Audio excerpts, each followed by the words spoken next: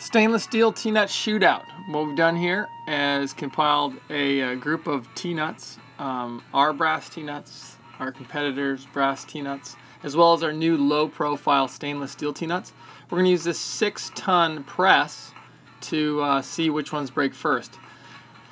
So we designed this rail system where the press will push down in the middle, putting stress on both T-nuts at the same time.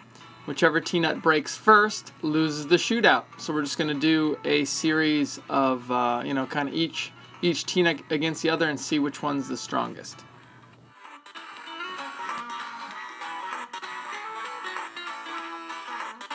Up first is the brass T-nuts, M8 brass T-nuts. Our T-nut is on the right and the competitor is on the left.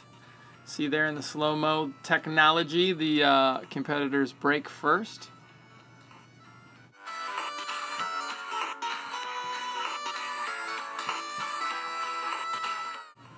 Now we're going to do the competitor's T-nut against the stainless steel brass T-nut.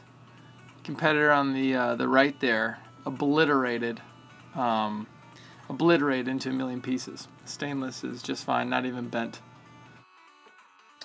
Final test is between the low-profile stainless steel T-nut on the right against our brass M8 T-nut on the left. The, the one on the left is the same model that won the first shootout against the competitor's brass T-nut. Keep in mind in these tests, we're using a six-ton press. We're putting an enormous amount of force on these to break them. It's just kind of interesting to see which one's the strongest. So if you need T-nuts, we got them, foilmount.com. You can buy them on the website or go through your local dealer. Thanks for watching.